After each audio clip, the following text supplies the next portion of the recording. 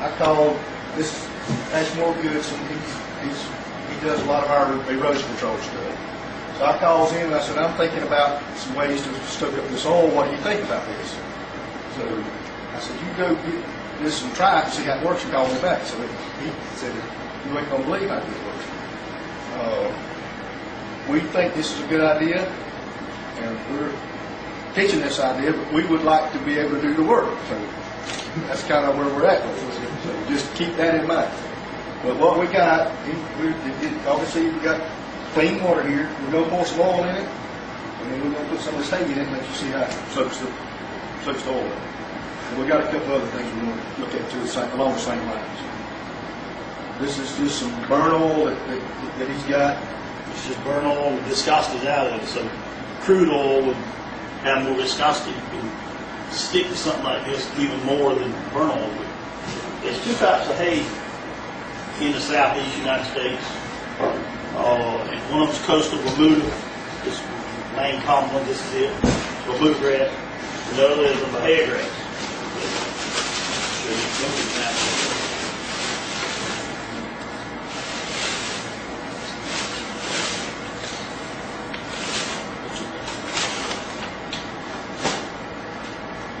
If you simulate wave, you know, this is, I'm only gonna do this for just a few seconds, whereas it, it can stay in the water for hours and hours and hours, maybe days. The hay won't sink, uh, period. I mean, I've, well, I've been in erosion control 20, 25 years, and it, it'll just float, float to the edge, just stay on the edge, you know, so, uh, we put out hay bales forever. got two scenarios of this. We think, first of all, you could actually disperse it on this field that's out there now. It'll soak up the oil there now. You- You've got skimmers that come along and skim up the hay, or you could use the shrimp boats out there with their nets to pick it back up, or, or something along that line. Or if it washes up on shore, it's gonna be just like seaweed, and you take conventional beach cleaning equipment and you just pick it up. And we would Yes. have dumpsters on the beach with liners or whatever, in them, and put in those dumpsters. And then as far as disposing it out, my thoughts was take it to some incinerator and use it for energy. And, and burn it, mix it with wood chips or whatever, and, and dispose it like that. I don't know what the DEP implications would be of that or whatever, but. As far as getting it out of the water, this is, I- I've found it all kinds of stuff in the last few days. This right here is about as green and about as simple as it gets. Now, this is just in a few minutes. Now, pay no attention to what's around the edge. There ain't no bowl up there in the ocean. There ain't no edges, so this stuff's gonna float and mess around, flop around in the waves. You take a little bit of thing right there. Look what's attached to it. Think about that.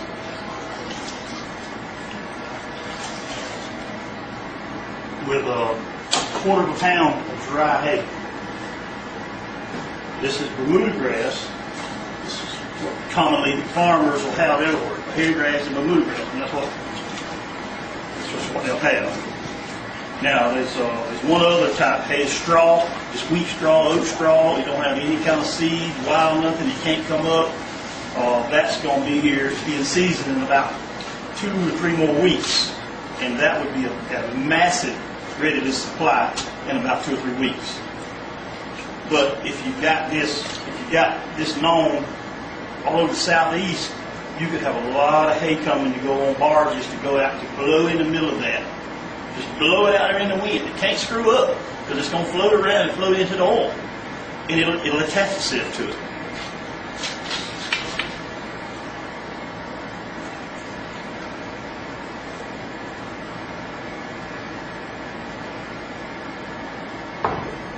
Lot it in there.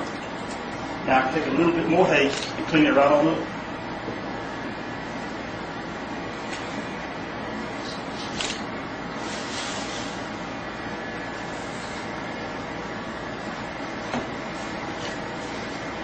It looks bad around the edges, but, but there ain't no, there's no pan edges out there in the ocean, of course.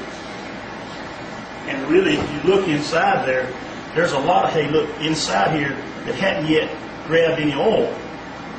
So the hay scattered out We do away that, you know, it's going. Yes, you, you want, you want it more waves, right, the more you blow it, the more you scatter it, each one of them can pull a lot of oil out.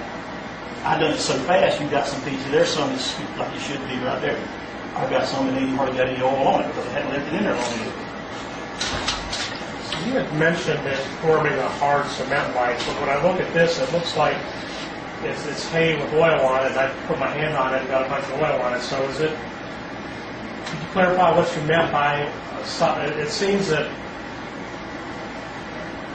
what am I trying to say is, it's not really, really, it's not really being absorbed in the hay, it's just on the hay. It's on the itself to it. Right, it attaches itself to it. And that's all you want to do is attach it to something so you can get it. If it makes it to the beach, worst case scenario, it's going to end there at high tide. It's going to, where it's going to be set. And it'll stabilize right there and be in the hay. So you take this beach seaweed equipment that is pretty readily available. Equipment now. They'll run along there and just roll it, pick it up, go right in. The oil's coming up.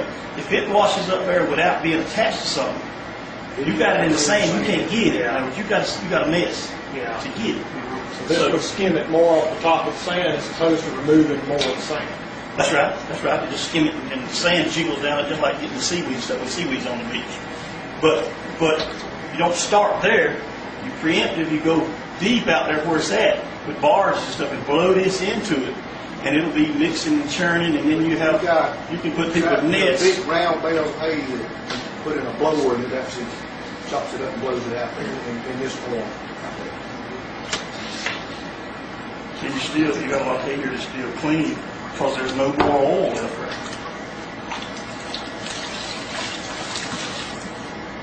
That's black